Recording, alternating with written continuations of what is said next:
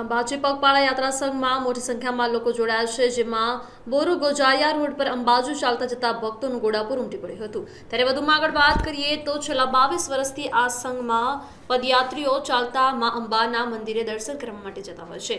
સંઘમાં એકસો પચાસ જેટલા માણસો જોડાયા છે અને ગાંધીનગરથી અંબાજી સુધી ઠેર ઠેર કેમ્પો લગાવવામાં આવ્યા છે. પગપાળા જતા યાત્રિકોને કોઈ તકલીફ ન પડે તે માટે ખાસ સુવિધાઓ ઊભી કરવામાં આવે છે. તો બીજી બાજુમાં સ્વચ્છતાનું પણ વિશેષ ધ્યાન રાખવામાં આવી રહ્યું છે. રાજ્ય સરકાર દ્વારા ઠેર ઠેર મેડિકલ કેમ્પ અને આયુર્વેદ કેમ્પનું પણ ઊભા કરવામાં આવ્યા છે. પગપાળા જતા પદયાત્રીઓને અલગ અલગ પ્રકારની સારવાર આપવામાં આવી રહી છે. તમામ માર્ગો હાલ તો બોલમારી અંબે જય જય અંબેના નાદ સાથે ગુંજી ઉઠ્યું છે.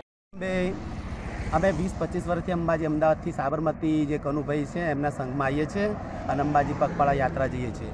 હરેક કેમ્પ આયોજન બધી સેવા સારી રહે છે. એ તો કેમ્પે ગમે અમે નાચીએ છીએ, ડાન્સ કરીએ માટે અને આપણે જે સરકાર, ભાજપ સરકાર જે ભૂપેન્દ્ર પટેલ સાહેબે બી સારી યોજના કરીએ છીએ સુધી સફાઈ રોડની સાઈડમાં હવે છે, સુધી અંબાજી સુધી સરસ સફાઈ અને કચરો રસ્તામાંની પબ્લિક સહકારની બધા ચાલે છે, યાત્રા કરે છે.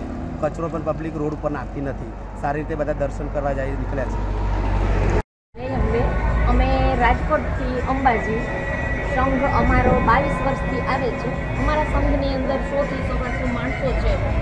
અમારી સાથે રહેવા જમવાની બધી સગવડ છે.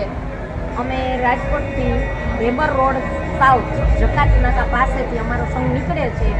આ અમારું બાવીસમું વર્ષ છે અને મા સાથે અમારો એટલો બધો ગહેરો સંબંધ થઈ ગયો છે કે અમે કદાચ એક વર્ષથી ન આવીને તોય અમને ઘરે ચેન નથી પડતું. અને અમે બસ કાંઈ બાધા માનતા અમારી કાંઈ નથી. પણ અમે ખાલી અમારો ભાવ ભક્તિ અર્પણ કરવા માટે જ માને ત્યાં જઈએ છીએ.